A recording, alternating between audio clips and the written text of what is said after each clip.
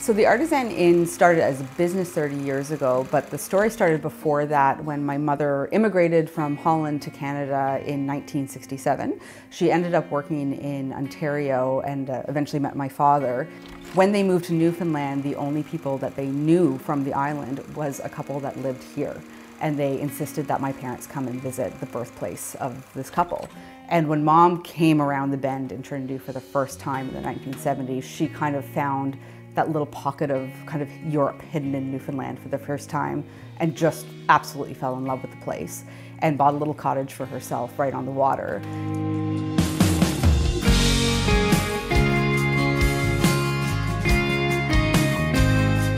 The natural beauty of Trinity is what gets you at first.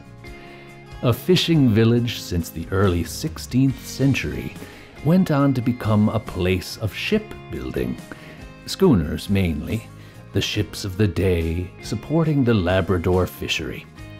Now it's a place that whispers those memories, with views, heritage buildings, and hospitality that'll take you back in time. The inn really started with the building Campbell House, which was built originally for the teacher, uh, Mr. Campbell, who taught here navigation here. And then eventually what happened over time was, you know, we bought another property uh, and that's the property I'm actually sitting in here right now. Um, that is the, what's known as the Twine Loft. That's our dining room. So it's a fishing shed right on the water.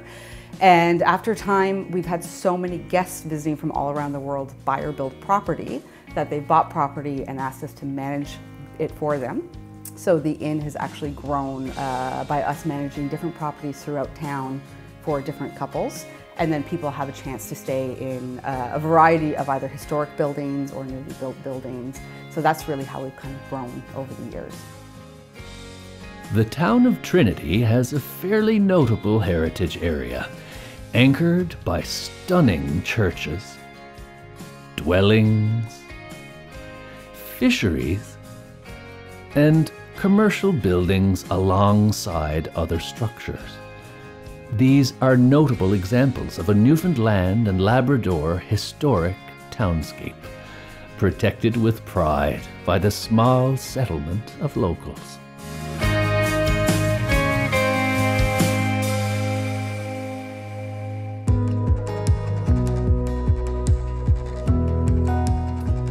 Uh, I've definitely taken after my mother. I always really wanted to see the world. I spent time in my university years living in Brazil. I studied in Russia. I studied in France. So I had this idea that I was going to break away from Newfoundland. And what I found was uh, in my 20s, I went away to Ottawa and did the sommelier program at Algonquin College. Uh, and while I was there, my mother actually discussed potentially selling the business to a buyer who was interested. And I realized when she said we might not have this in our lives anymore, that this was really where I wanted to be. Whales, birds, icebergs, and wildlife are a main attraction here. The locals know they are only here to support these gifts of nature. The coastline here is absolutely exceptional. We're actually part of the newest uh, geopark um, for UNESCO. It was just uh, announced earlier this year.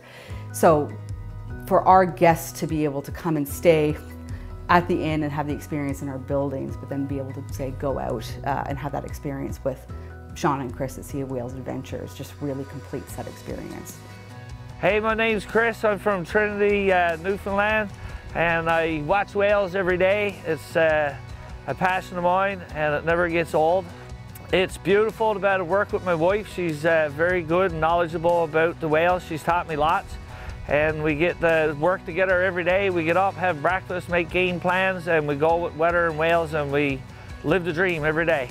This uh, body of water around the Bonavista Peninsula is our playground. It's like living in a storybook. I mean, it's a beautiful little place to be. Um, and in some ways, living here is like being frozen in time. There's nothing like getting to know the locals. And there's really nothing like a local Newfoundlander. This is a passion, pure and simple. Um, so we have people who literally come from all over the world. Um, we have quite a following of people who have been coming back years and years and years. The great ocean explorer Jacques Cousteau once said, The sea, once it casts its spell, holds one in its net of wonder forever. This is one of those magical places where sea spells are cast, great memories are made, and many, many return. One of the most special things I find about the people that come visit here is that they've all said that Newfoundland just changes them forever. And there's something about this place that just stays with you once you've been here.